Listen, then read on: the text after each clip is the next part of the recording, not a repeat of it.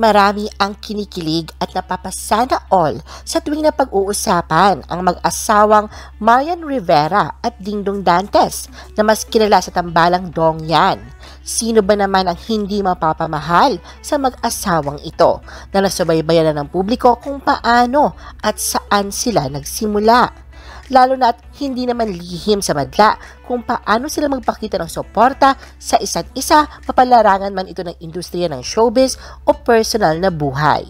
Isa sila sa matatawag na royal couple ng industriya. Halika't ating balikan ang iilan sa kaganapan ng kanilang buhay ngayong 2021. The Philippine Showbiz List presents highlight sa buhay ni Dingdong Dantes at Marian Rivera sa 2021. Enero, Dingdong Dantes, Lindsay De Vera issue.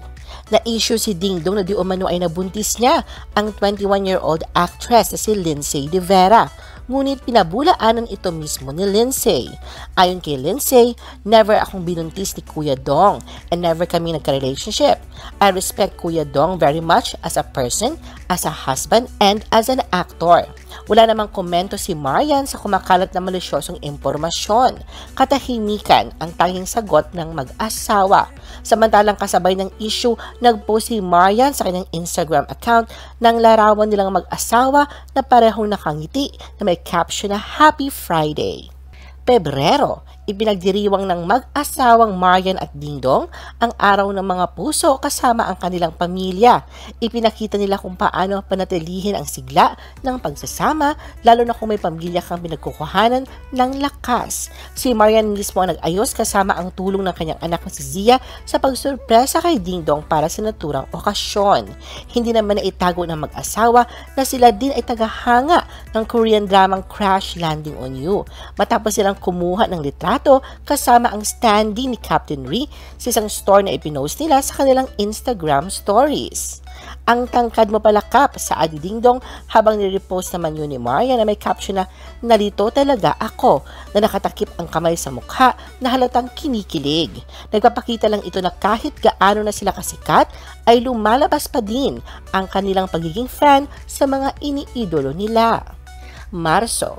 Sa ulat ng ABS-CBN.com, malaki ang pasasalamat ng aktor na si Dingdong Dantes na nabigyan ito ng pagkakataong masubaybayan ang paglaki ng kanilang dalawang anak ng aktres na si Marian Rivera dahil sa nangyayaring pandemya.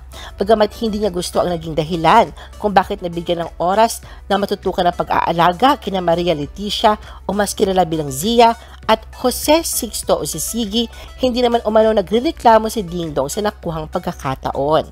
Nang tanungin kung ilan pa ang nais nilang maging anak ni Marian, ibinahagi ni Dingdong na gusto pa nilang mag-asawa na palakihin ang kanilang pamilya. Definitely, we want more, maikling sagot nito. Ayon sa Kapuso Primetime King, talagang sa simula pa lang ng pagsasama nila ng asawa ay malaking pamilya na ang pangarap nila. Abril, habang ang bansa ay nanatili pa rin na naka-lockdown at may pandemyang kinakaharap, pinili ng mag-asawa na ipagdiwang ang ikalawang taong kaarawan ng kanilang anak na si Sixto. Biyernes, ikalabing anim ng Abril sa isang simpleng pool party na may car-themed party. Mayo, hindi pa rin basta-basta tumatanggap ng trabaho ang kapuso primetime king na si Dingdong Dantes sa gitna ng patuloy na banta ng COVID-19 sa bansa. Unang prioridad pa rin ni Dingdong sa panahon ng pandemya ang kaligtasan ng kanyang pamilya, lalo pat bata pa ang mga anak nila ni Marian Rivera na sina Zia at Ziggy. Ayon sa award-winning actor at entrepreneur, talagang pinag-isipan niyang mabuti ang bawat offer sa kanya bago tumanggap ng proyekto. Anya, unang concern niya ay kung ligtas ba at worth it ang pagtatrabaho niya sa labas. Parehong kapakanan ng kanilang mga anak ang pinapahalagahan ng mag-asawa. Tulad ng kanyang asawang si Dingdong, babalik lamang si Kapuso primetime queen Marian Rivera sa paggawa ng teleserye kapag mas naging maayos na ang sitwasyon sa bansa sa gitna ng COVID-19 pandemic. Ayon sa misis si Dingdong Dantes, hindi pa talaga niya kayang sumabak sa mga lock-in taping dahil natatakot siya para sa kalusugan at kaligtasan ng kanyang pamilya. Hunyo, sa kabila ng takot sa naglalabasang epekto ng bakuna, napagpasyahan ng mag-asawa ang magpabakuna hindi para lang sa sarili nila, kundi para na rin sa kaligtasan ng kanilang pamilya at ng mga taong malapit sa kanila. Naakusahan pa ang dalawa na nakakuha doon ng VIP treatment dahil sa pagiging artista nila. Ngunit di na lamang nila ito pinatulan. Agad naman silang nadepensahan ng kanilang mga tagahanga sa pamamagitan ng pag-post ng mga larawan nila na nakapila kasama ang ibang magpapabakuna na sila rin ay dumaan sa tamang proseso. Hulyo, itinanghal ng most followed Filipino celebrity sa Facebook ang actress at model na si Marian Rivera. Nagpasalamat ang actress sa walang sawang suporta ng kanyang mga tagahanga at syempre, di mawawala ang suporta ng numero uno niyang tagahanga na tawagin na lang natin sa pangalang Ding Dong. Agosto, sa kanyang Instagram stories, ibinahagi ni Kapuso primetime queen Mayan Rivera na may caption na 7 years today ang throwback photos na nagpapakita ng marriage proposal ng kanya ng asawang si Ding Dong Dantes. Pitong taon na ang nakalipas, ang espesyal na sandali ng Kapuso primetime king at queen ay tinawag na the royal engagement at kinonsiderang isa sa mga hindi malilimutang proposal sa kasaysayan ng showbiz.